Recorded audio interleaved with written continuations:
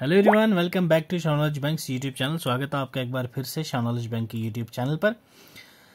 ये आज का सेकंड लेक्चर है जनरल इकोनॉमिक्स का, जो आपके फाके एग्ज़ाम में दस नंबर का रहने वाला है ये पोर्शन ठीक है? हम लोग इस पोर्शन को भी टॉपिक वाइज करेंगे। आज हम लोग इकोनॉमिक्स का फ़र्स्ट टॉपिक डिस्कस करेंगे इन डिटेल थ्रू एमसीक्यूज ठीक है? पहला टॉपिक आपका जो इकोनॉमिक्स का है that is introduction of economics ठीक है? बेसिक टर्म्स जो है इकोनॉमिक्स की, वो देखेंगे हम लोग इसमें, ठीक है? साथ साथ में प्रैक्टिस करेंगे एमसीक्यूज विद रिवीजन ठीक है? अगर आप लोगों ने नहीं भी पढ़ा है तो बेफिक्र होके ये वीडियो देखिए। आपका इंट्रोडक्शन ऑफ़ इकोनॉमिक्स बिल्कुल बेसिक से हम लोग क्लियर करवा देंगे, ठीक है भाई?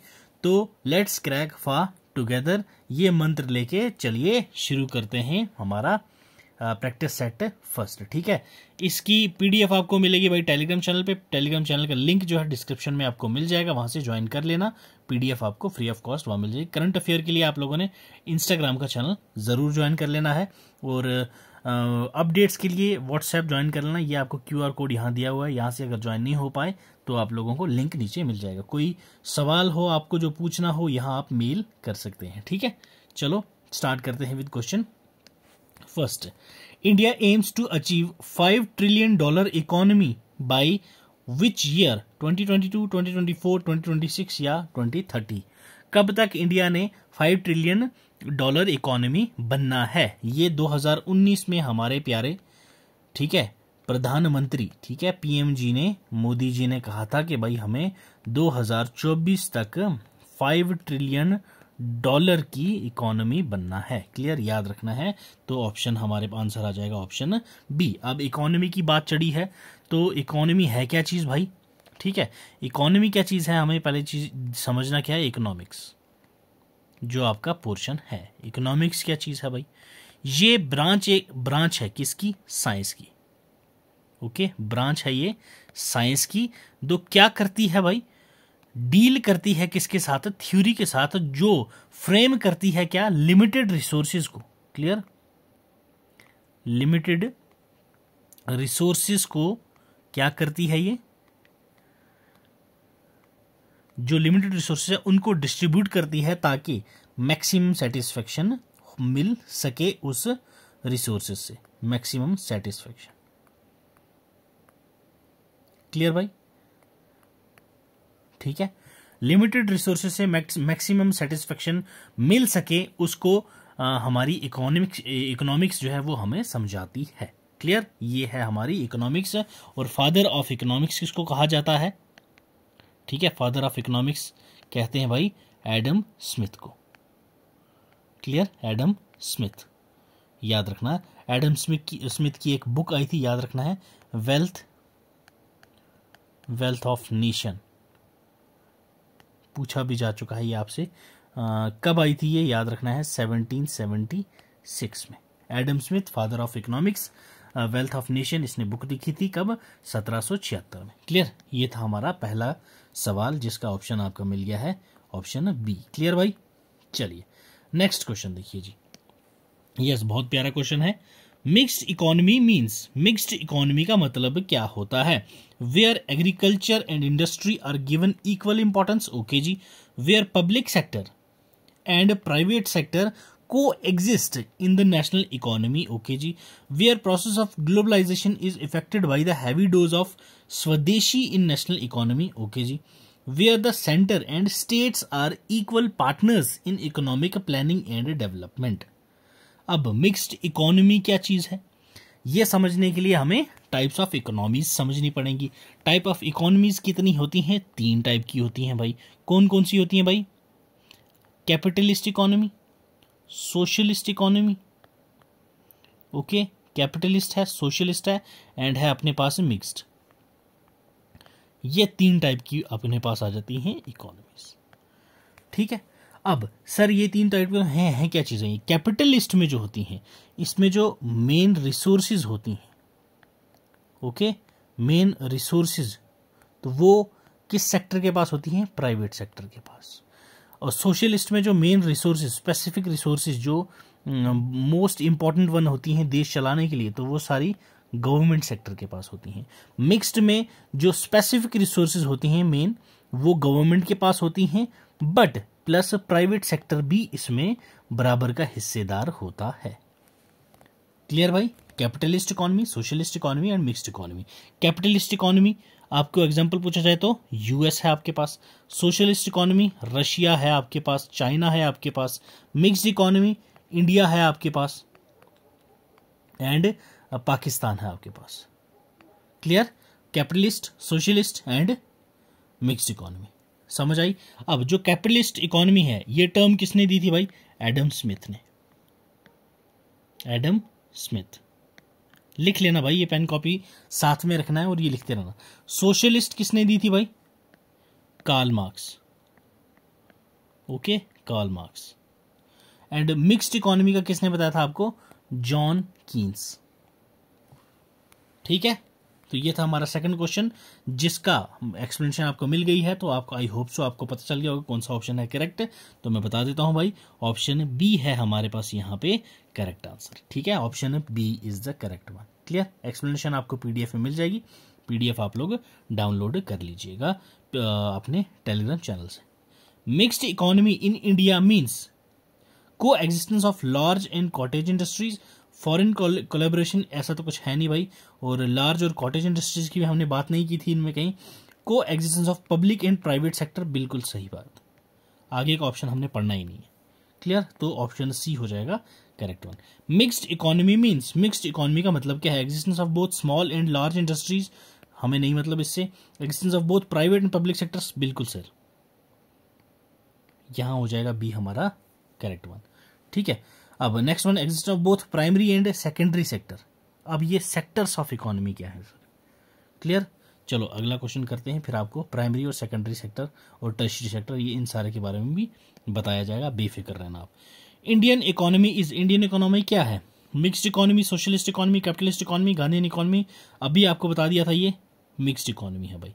क्लियर ऑप्शन ए हो जाएगा हमारा करेक्ट आंसर तो जिसमें हमें टाइम वेस्ट नहीं करना है तो वहाँ हमने बोला टाइम वेस्ट नहीं करना है, जल्दी जल्दी चलेंगे। जहाँ मुझे लगेगा कि एक्सप्लेनेशन की ज़रूरत है, जहाँ आपको बेसिक कंसेप्ट समझाने की ज़रूरत है तो वहाँ पे आपको बिल्कुल कंसेप्चुअल नॉलेज भी दी जाएगी। Which of the following is the main characteristics of Indian economy Indian economy का मेन कैरेक्टरिस्टिक्स क्या है? भाई, ये मिक्सड इकोनॉमी है। यही इसका मेन कैरेक्टरिस्टिक्स है। Clear which type of economy does India have India के पास कौन सी टाइप की इकोनॉमी है? तो भाई मिक्सड इकोनॉमी है। क्या है? Option C mixed economy option C clear eighth it will be true to classify India as इनमें से इंडिया को किसमें हम क्लासिफाई कर सकते हैं? Food deficient economy okay ji.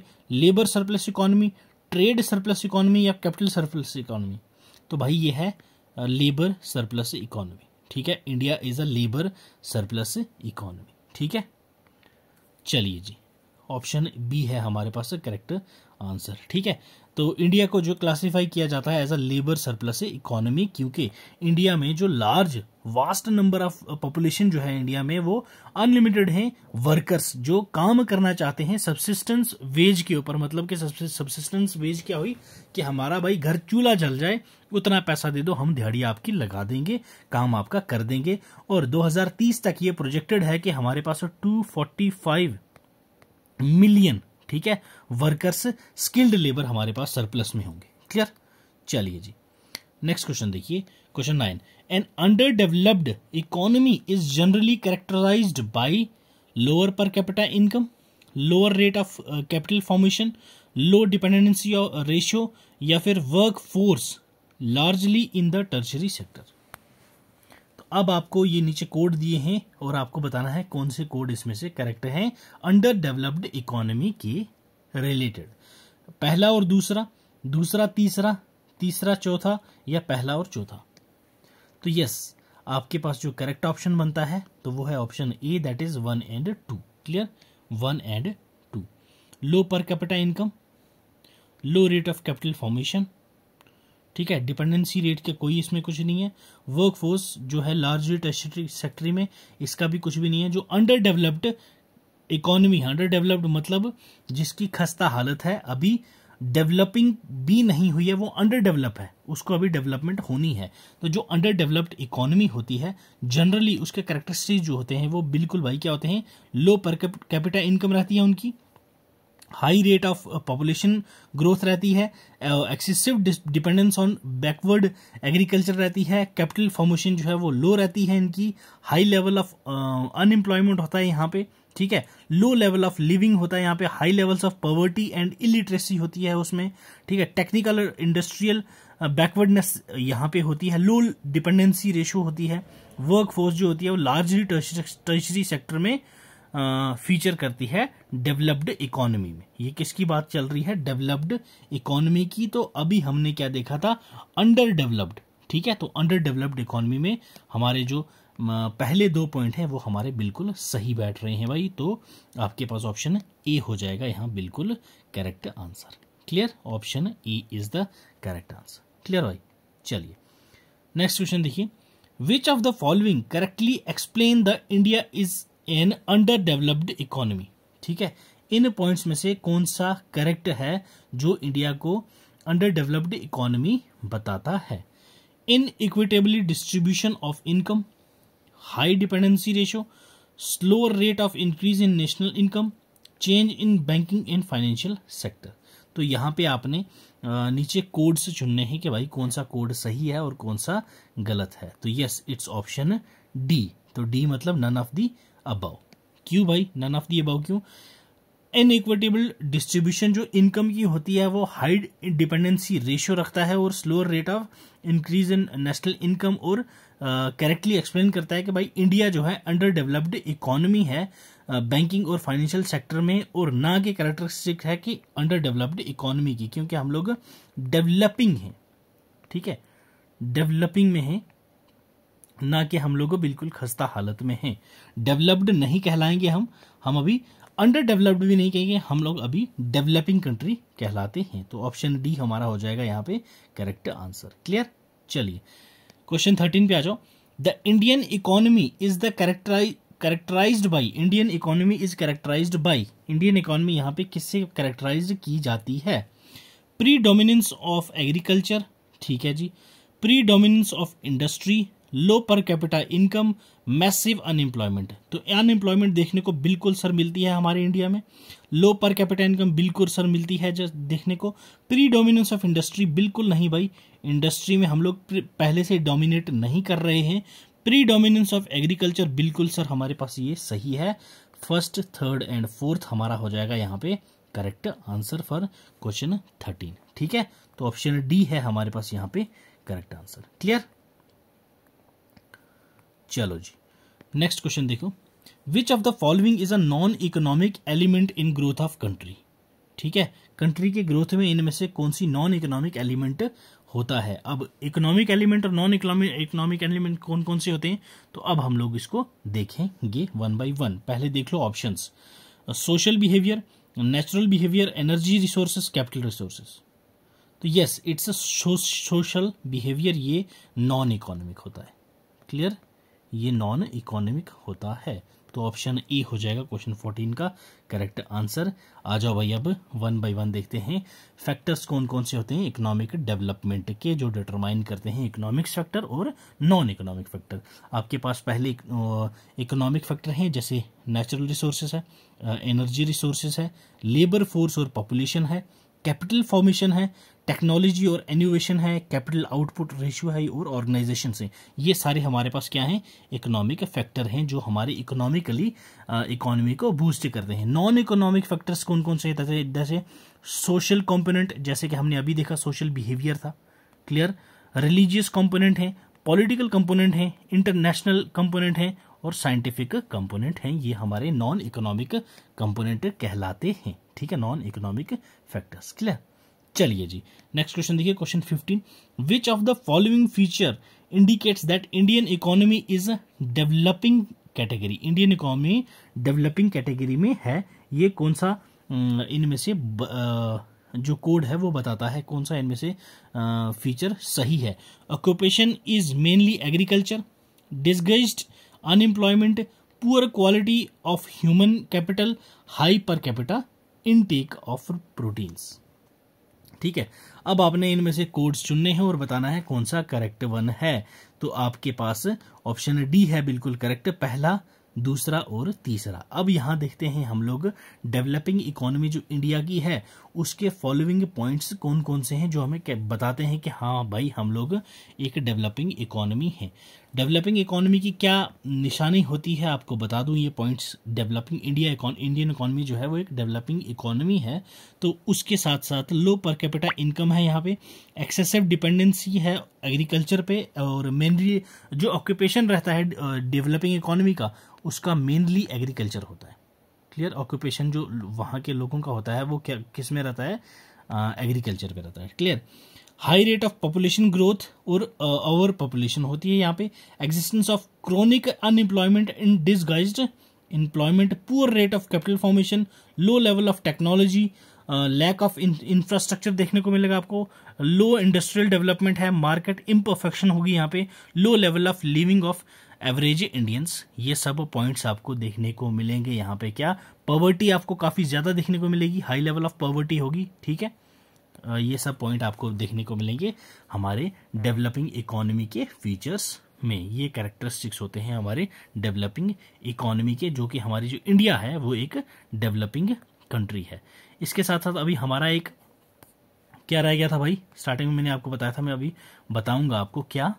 That is sectors okay one सेक अब हम लोग एक बार डिस्कस कर लेते हैं सेक्टर्स ऑफ़ इकोनॉमी देन हमारा समझो टॉपिक ये बेसिक्स का टॉपिक खत्म। कुछ छूट गया हो या कुछ ऐसा हो जो आपको लग रहा हो कि सर थोड़ा सा और एक्सप्लेन कर दो तो कमेंट कर दो, मैं आपको समझा दूँगा भाई। Clear next one sectors okay आ जाओ। सेक्टर्स कितने टाइप के होते हैं? पहला है आपके पास प्राइमरी सेक्टर दूसरा है आपके पास सेकेंडरी सेक्टर तीसरा है आपके पास टर्शरी सेक्टर ठीक है? Primary secondary and tertiary primary sector जो है, वो डील करता है नेचुरल रिसोर्सेज पे. ठीक है? That is raw goods primary sector जो है, वो इंक्लूड करता है आपका जैसे एग्रीकल्चर ओके एग्रीकल्चर है आपके पास? फिशिंग है। ओके, उसके बाद आपके पास माइनिंग है। उसके बाद आपके पास डेयरी है। तो ये जो सारी एलिड एक्टिविटीज़ हैं एग्रीकल्चर से रिलेटेड, प्राइमरी सेक्टर में इंक्लूड होती हैं। तो ये था हमारा primary sector. Next one is हमारे पास क्या है? सेकेंडरी सेक्टर सेकेंडरी सेक्टर क्या है? जो प्राइमरी सेक्टर के गुड्स को, ठीक है कन्वर्ट करता है। फिनिश्ड प्रोडक्ट्स में। ठीक है? ये आप लोग ये लिख लो प्राइमरी प्रोडक्ट्स को कन्वर्ट करता है ये। क्या करता है? कन्वर्ट करता है इनटू फिनिश्ड गुड्स तो वो हमारा कहलाता है क्या? सेकेंडरी गुड अब एग्रीकल्चर में आप लोगों ने आ, आटा ठीक है? वो क्या रॉ रॉ मटेरियल जब आप वहाँ से उगाते हो वो हो गया आपका आटा। वो आटा लाया आपने उसको कन्वर्ट कर दिया आपने बिस्किट्स में। ठीक है? बिस्किट्स हो गए आपकी ब्रेड होगी आपकी तो ये आटे से बन गया ना? तो ये आपकी किसमें आ गया अब? सेकेंडरी सेक्टर में। क्या? जो प्रोसेस्ड हो जाए, ठीक है? जब कुछ प्रोडक्ट को आप लोग प्रोसेस करके आगे फर्दर बेचो तो वो सेकेंडरी सेक्टर में फॉलो करती है। Primary sector secondary sector third one is जो आपके पास आता है tertiary sector that is service sector इसको हम लोग बोलते हैं सर्विस सेक्टर ठीक है? Service sector. ठीक है? ये जो है, हमारी ये एक्टिविटी हेल्प करती है डेवलपमेंट हमारे प्राइमरी और सेकेंडरी सेक्टर में। जैसे इसमें क्या क्या आ जाएगा? बैंकिंग सेक्टर है। क्लियर उसके बाद ट्रांसपोर्ट सेक्टर है। ओके भाई लोग। उसके बाद आपके पास कम्युनिकेशन सेक्टर है स्टोरेज सेक्टर है, ये सारी चीज़ें एजुकेशनल सेक्टर है आपके पास। क्लियर ये सारी चीज़ें किसमें आती हैं? आपकी टर्शरी सेक्टर में। क्लियर भाई लोग? अब एक चीज़ और पता होना चाहिए आपको, इंडिया के फ़र्स्ट इकोनॉमिस्ट ठीक है? इकोनॉमिस्ट आप बोल सकते हो, जिनको नोबेल प्राइज मिला है। वो कौन है? तो नाम याद रखना है आपने, अमृत्य सेन। अमृत्य सेन, कब मिला था इनको? 1998 में। ठीक है? इकोनॉमिक्स में इनको मिला था। इंडिया के पहले हैं जिनको नोबेल प्राइज़ से नवाजा गया था। क्लियर भाई लोग? ये थी हमारी basics introduction of economics I hope so video आपको पसंद आई होगी। अगर वीडियो अच्छी लगी हो तो लाइक कर देना वीडियो अच्छी ना लगी हो तो हमें बताना कि भाई लोग हम क्या इसमें इम्प्रूवमेंट कर सके हैं ताकि आपको जो सेकंड लाइन उसमें आपको थोड़ी सी इम्प्रूवमेंट करके लाई जाए। ये क्वेश्चन मैंने बेसिक डाले थे क्योंकि इसमें आपको बेसिक समझाना था। नेक्स्ट वाली जो वीडियोज़ रहेंगी, उसमें थोड़ा सा हम लोग लेवल बढ़ाते रहेंगे। चलो भाई, पढ़ते रहो, खुश रहो। God bless you keep learning keep sharing